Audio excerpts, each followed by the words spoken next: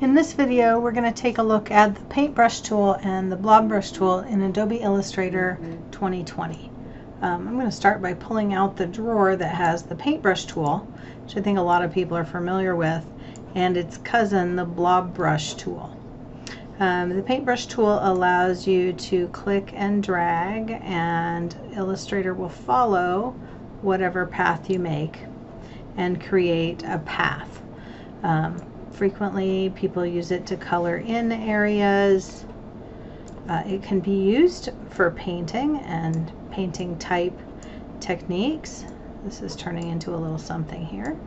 Um, and many times people are confused by the difference between the paintbrush tool and the blob brush tool because when I use the blob brush tool it looks like it does the same thing.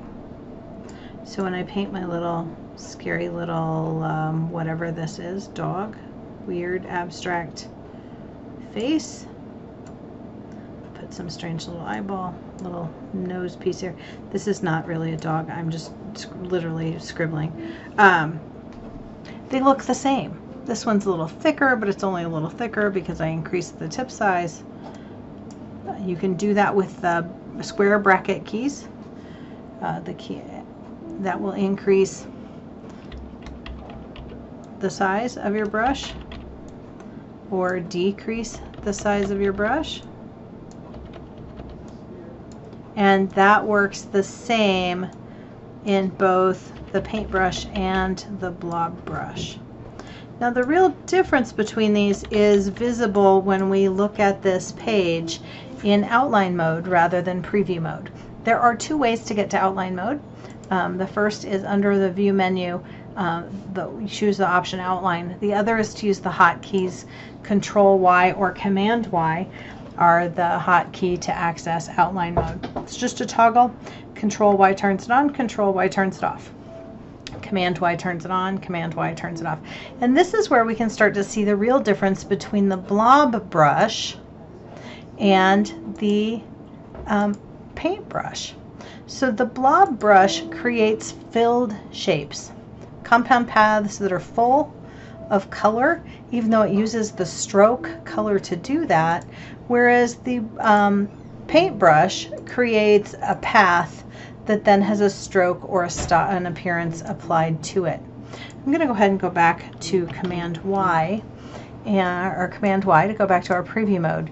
And let's look at some of the options with the paintbrushes. So each of these strokes we can um, have lots of different paintbrushes in Illustrator. Remember, anytime you have the little library books, that means there's a whole list of other brushes, um, borders and dots and dashes and all kinds of things.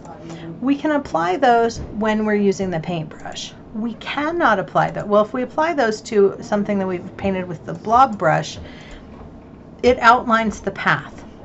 And so in the case where what we have done is made a shape, a squiggly scribble with the blob brush that's actually a filled shape. The blob brush will fill, or the, the any of the paint brushes in Illustrator will trace the outside of those.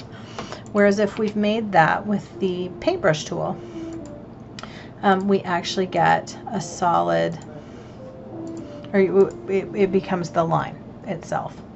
Um, so that is the difference between the paintbrush tool and the blob brush tool if you are filling something in, if you are trying to create a filled area or you need to make a shape that's a little bit wonky and, and not perfect. So often the shape tools are great for that, for making regular shapes. But if I want something more natural, the blob brush tool is going to be my choice there. And unlike when I try and do that with the paintbrush tool, with the blob brush tool, I can get a nice, clean, filled outline and not have lots and lots of paths to work with.